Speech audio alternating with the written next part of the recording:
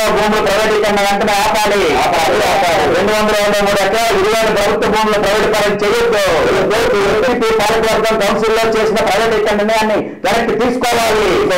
వ్యతిరేకించండి YCP ప్రైవేటీకరణ విధానాలను. వ్యతిరేకించండి YCP ప్రైవేటీకరణ విధానాలను. వ్యతిరేకించండి వ్యతిరేకించండి. ముసలిలో భూములు ప్రైవేటీకరణ వెంటనే ఆపాలి. ఆపాలి ఆపాలి. బీపీపీ పేరుతో ప్రభుత్వ భూములను ప్రైవేట్ వాళ్ళకి ఇవ్వద్దు. ఇవ్వద్దు ఇవ్వద్దు. కాకుళ్ళు కొట్టి గద్దలు చేసినట్టుంది జీఎంసీ వైసీపీ పాలన. విశాఖ ప్రజల నుండి ముక్కుపిండి ఆస్తి పనులు ఇతర పనులు వసూలు చేసి ఈ డబ్బుల్లోంచి దాదాపు ఇరవై నాలుగు కోట్లు ఖర్చు పెట్టి ముడసర్లోవ రిజర్వాయరు పార్కు రెండు వందల అరవై మూడు ఎకరాల భూమి చుట్టూ మంచి మంచి రోడ్లు వేసి దీంతో పాటు చుట్టూ ప్రహరీ గోడ కట్టే పని జిఎంసీ చేస్తూ ఉంది. అంతా అందంగా తయారు చేసి ముడసర్లావ జలాశయాన్ని పార్కుని రెండు వందల యాభై మూడు ఎకరాల భూమిని వీటన్నిటినీ ప్రైవేట్ వాళ్ళకి ఇస్తారంట. ఆస్తి ప్రజలది డబ్బు ప్రజలది ప్రైవేట్ వాళ్ళు వ్యాపారం చేసుకోవడం కోసం కట్టబెట్టడం కోసం మన కౌన్సిల్లో తీర్మానం చేశారు. వైసీపీ కార్పొరేటర్ని ఓటే ప్రశ్నిస్తున్నాం. మీకు ప్రజలు ఓటేసి గెలిపించింది ప్రజల్ని విశాఖపట్నాన్ని అభివృద్ధి చేయడం కోసమా? లేకపోతే ప్రజల మీద భారాలు వేయడం ప్రజల ఆస్తుల్ని మీకు అనుకూలంగా ఉన్నటువంటి ప్రైవేట్ ధారవత్వం చేయడం కోసం అని చెప్పి ప్రశ్నిస్తున్నాం. మేము అభివృద్ధి చేస్తామని చెప్పి అంటున్నారు పీపీపీ పేరు మీద.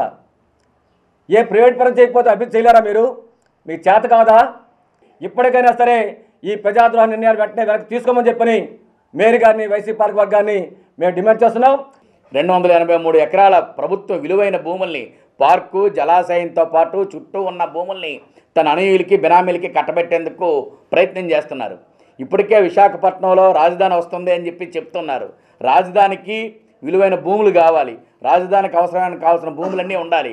కానీ ఉన్న భూములన్నీ కూడా ఈ రకంగా కార్పొరేట్ కంపెనీలకి ప్రైవేట్ వాళ్ళకి ఇచ్చేస్తూ ఉంటే భవిష్యత్ అవసరాల కోసం భూములు ఎక్కడి నుంచి వస్తాయని మేము ప్రశ్నిస్తూ ఉన్నాం. ఈ రోజున పాలకవర్గం సమావేశం జరిగిందంటే ప్రజల ఆస్తులను ప్రైవేట్ పరం చేయడం కానీ ప్రజల మీద భారాలు వేయడం కానీ ఈ రెండూ లేకుండా జీవీఎంసీ పాలకవర్గం జరగటం లేదు.